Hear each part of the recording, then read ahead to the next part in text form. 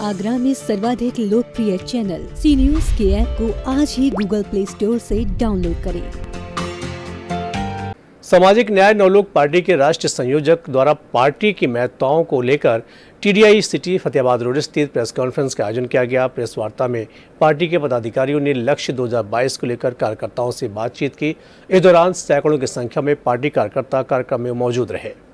देश का दुर्भाग्य गाँव गरीब मजदूर किसान का दुर्भाग्य कि उनको आज तक समानता का अधिकार और न्याय नहीं मिल पाया। इसलिए हमने पार्टी का नाम जो रखा है सामाजिक न्याय नवलोक।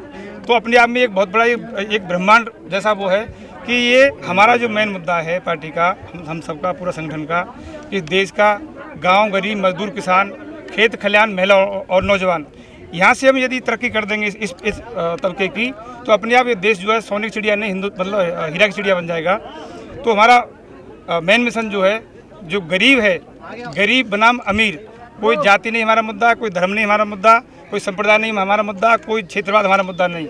हम ये ये चिंगारी अभी शुरू कर रहे हैं पूरे देश में और पूरे प्रदेश में। बहुत तेज़ी से हमारे साथ लोग जुड़ते जा रहे हैं। आप जैसा देख रहे हैं आज आज का यहाँ का हजूम। इसी से आपको मालूम चल रहा होगा। और मैं आपके माध्यम से पत्रकार सभी पत्रकार बंधु के माध्यम से ये संदेश पूरे देश में और देश की सरकारों को देना दे रहा हूँ और दे, देना चाहता हूँ कि ये चिंगारी गाँव गरीब लोग नोट कर लें, इस देश के हुक्मरान नोट कर लें, गाँव गरीब, मजदूर किसान, खेत खलिहान, महिला और नौजवान, ये मुद्दा है। गरीब के लिए इस देश का जो 80 परसेंट गरीब है, गाँव में रहता है, उनके लिए ना तो आधुनिक शिक्षा है वर्तमान की, न चिकित्सा है, न उनके लिए मतलब सुरक्षा है। मतलब हमारा मेन उद्देश्य सभी के लिए फ्री शिक्षा, स्वास्थ्य और सुरक्षा, ये मेन मुद्दे सबके लिए फ्री होने चाहिए। इसमें बहुत बड़ा दोगलापन है।